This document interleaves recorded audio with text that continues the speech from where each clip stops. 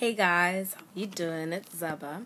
Um, I promised you guys my very ever, well, my very first ever video blog, but um, I just quite don't know what I'm gonna blog about, and I'm trying to find the camera.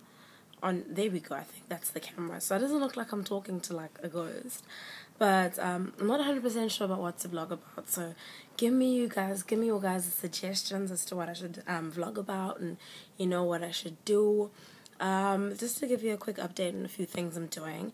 Um, I've got like 10 kilos to lose, and on the weekend I bought a juicer, so I'm going into this whole like green juice thing, and I've got an amazing trainer. His name is Jono at Virgin Active Classic. So like, I'm thinking I'm gonna do like a few exercises. I'm show you how to make a green juice.